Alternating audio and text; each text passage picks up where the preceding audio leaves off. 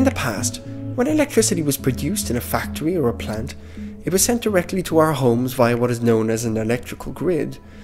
These grids were connected to one source of energy production, which then delivered the electricity from the producer to the consumer. This expensive and inefficient form of energy production was the standard for decades.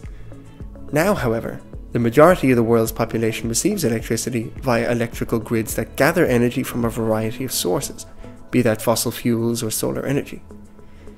As the planet contends with the ramifications of climate change, however, we're seeing an increased amount of renewable energy flowing into these grids. In Europe, over 90% of renewable energy generated is part of the distributed energy network.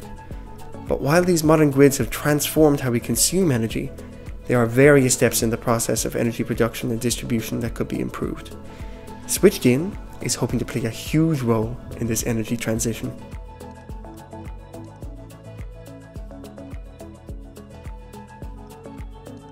So SwitchDin, we solve a problem in terms of managing distributed renewable energy resources. So we help to connect solar and batteries and key loads for homes and businesses with the management systems of electricity distribution networks and electricity retailers. So we basically provide a platform for building virtual power plants and for optimizing the operation of microgrids. The problem we're solving is that um, the technology and products that make up this asset base, you know, the solar PV inverters and the battery inverters and power meters, uh, it's a very fragmented market. And there's a lack of standards to allow interconnection. And even the standards that are there aren't uniformly implemented.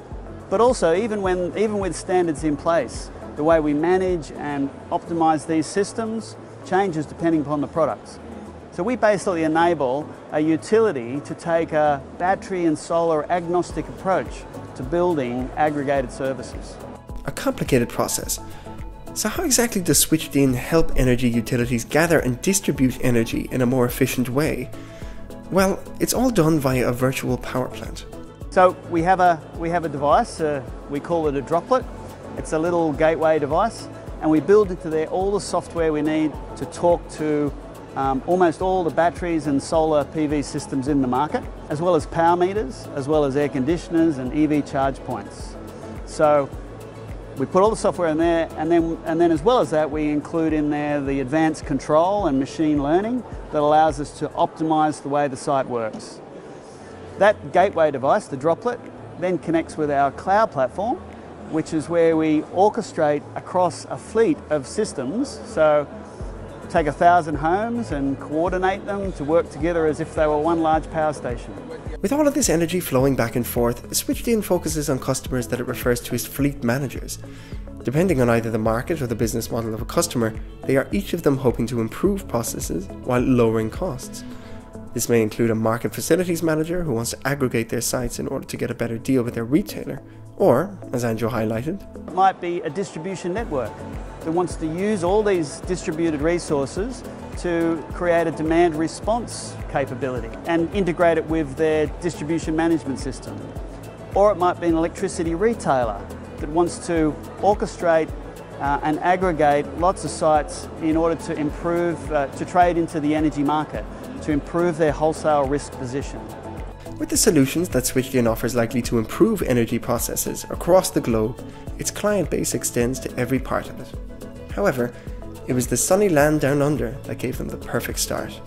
So Australia is our home market and Australia is really the best place in the world to be doing this now. It, it's the test market for the world really because of the high penetration of solar, the high cost of electricity and we have a very educated consumer.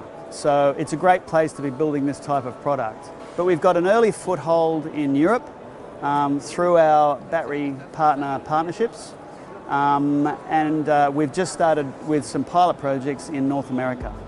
With the power to manage, predict and plan the energy availability coming through the renewable grid, energy utilities will be able to integrate sources of energy in a more efficient way, which will in turn aid countries in hitting their carbon reduction targets. Something worth switching to.